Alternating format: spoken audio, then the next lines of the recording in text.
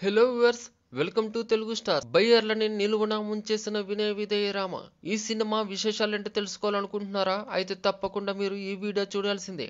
రంగస్థలం చిత్రానికి యుఎస్లో మూడున్నర మిలియన్ డాలర్ల గ్రాస్ వసూలవడంతో తదుపరి చిత్రానికి మినిమం క్రేజ్ ఉంటుందనే నమ్మకంతో బోయపాటి శ్రీనుకి ఓవర్సీస్ ట్రాక్ రికార్డ్ బాలేకపోయినా వినయ్ విధేయరామ రైట్స్కి భారీ మొత్తం చెల్లించి సొంతం చేసుకున్నారు అక్కడ యుఎస్ బయర్స్ కొత్త డిస్ట్రిబ్యూటర్ కావడంతో చాలా సినిమాలు పోటీ పడిన టైంలో వినయ్ విజయరామ చిత్రాన్ని పెద్ద స్థాయిలో విడుదల చేసుకోలేదు. సినిమా బాగుందనే టాక్ వస్తే షోలు పెరుగుతాయనే అనుకున్నారు.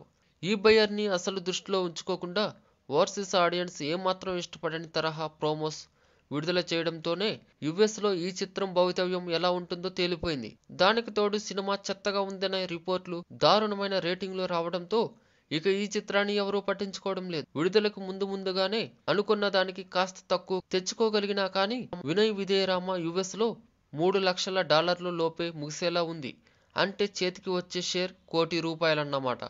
ఖర్చులు అవి తీసేస్తే అది కూడా మిగలదు. అంటే ఈ చిత్రంపై కనీసం ఆరు కోట్లకు పైగా నష్టపోయిన సదర్ బయ్యర్ నిలువున మునిగిపోయాడు. లోకల్ బయ్యర్స్కైనా కాంపెన్సేషన్ దొరుకుతుంది కానీ ఓవర్సీస్ బయ్యర్లని ఆదుకునే నాదుడే ఉండడు. For more interesting latest movie updates videos and latest movie reviews please subscribe Telugu star